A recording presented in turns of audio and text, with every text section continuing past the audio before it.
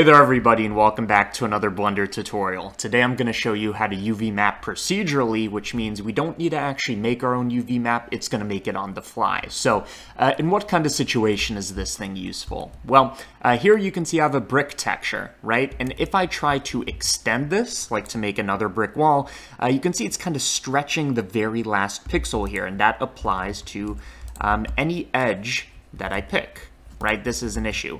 And right now, yes, it's using generated coordinates, but the same issue exists with UV coordinates because it's this 2D coordinate system that isn't updating, right? So if I was to go into my UV map here, just so you understand the problem, uh, this face totally has a UV map. This one is a infinitely thin line, okay? So we somehow want it uh, to update that. So how are we going to do this? The answer is we're going to use geometry nodes. So in geometry nodes, make a geonodes group, and it turns out that we can actually unwrap procedurally and send that data to the material editor.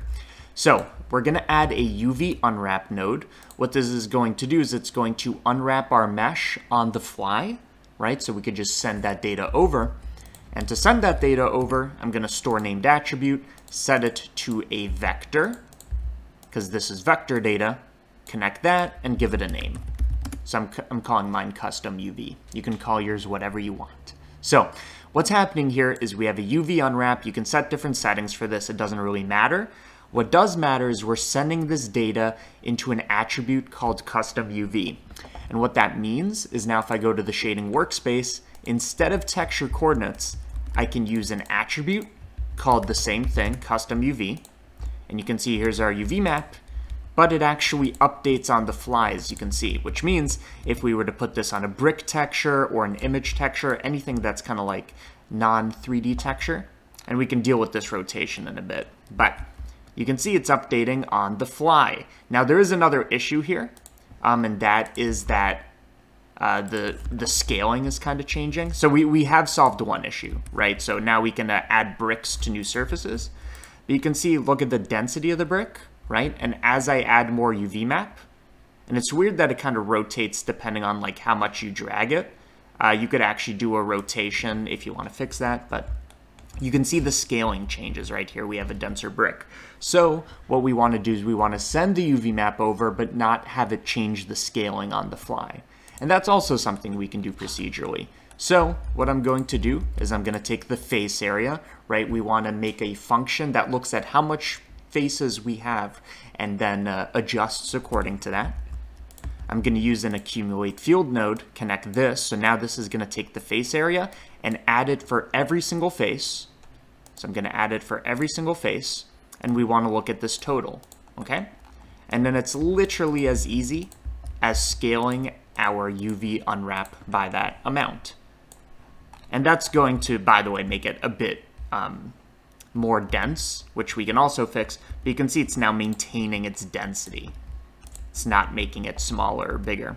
Uh, so again, what's happening here is we're taking the face area, we're saying calculate this for every face and add them, and then scale our UV unwrap by that amount so that if we have more face data, it's going to make our UV map uh, effectively bigger or smaller, whichever one makes sense, okay? Now, uh, to make it not as dense, all I'm going to do is I'm going to take this total and just send it through a bit of math. So I'm going to take this and then divide it by like 6 or something. So it's a bit smaller. And you can see now it's maintaining our uh, size.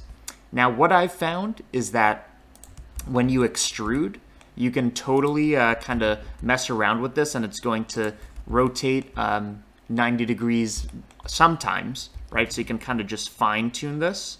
But if you have a um, a coordinate system, like if you have something like this where it's a vertical and you want to uh, switch this over, uh, you can totally do a rotation on this, right? So that would look like taking this attribute, using a vector rotate node, and then rotating by 90 degrees. So regardless of what you have, uh, you can edit that on the fly. Now, uh, you could have totally made a more complex material that has displacement and stuff like that, uh, but the point is you can now UV unwrap procedurally, meaning you can use a 2D texture on the fly procedurally.